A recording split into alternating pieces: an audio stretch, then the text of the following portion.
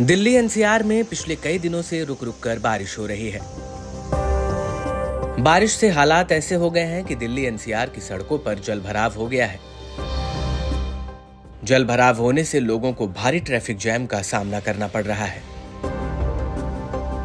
मौसम विभाग ने आने वाले तीन दिनों के लिए बारिश का येलो अलर्ट जारी किया है। मौसम विभाग के मुताबिक दिल्ली में बारिश का दौर 19 अगस्त तक जारी रहेगा।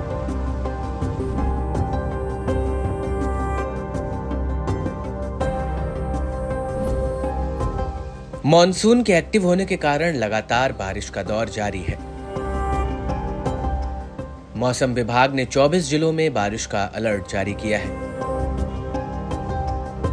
14 और 15 अगस्त को यूपी के पूर्वी, पश्चिमी, अवध और तराई क्षेत्रों में बारिश होगी।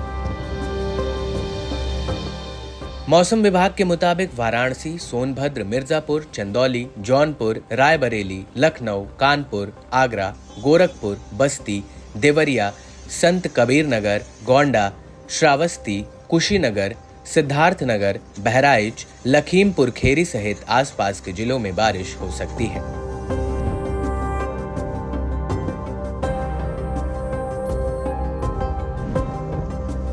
राजस्थान में लगातार चल रहा भारी बारिश का दौर खतरा बन गया है।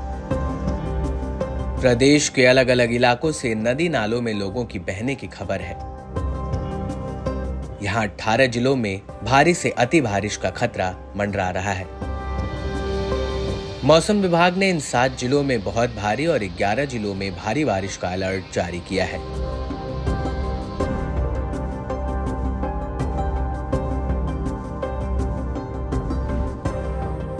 मौसम विभाग ने अगले 24 घंटों में हरियाणा, दिल्ली, पूर्वी और उत्तरी राजस्थान के कुछ हिस्सों के साथ साथ मध्य प्रदेश में भारी बारिश की संभावना जताई है।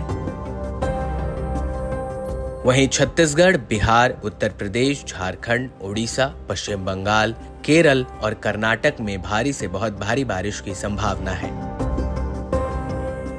बिहार, झारखंड, पूर्वोत्तर भारत, विदर्भ, तेलंगाना, तटीय आंध्र प्रदेश, पंजाब, जम्मू कश्मीर, उत्तराखंड, हिमाचल प्रदेश और गुजरात में हल्की से मध्यम बारिश हो सकती है।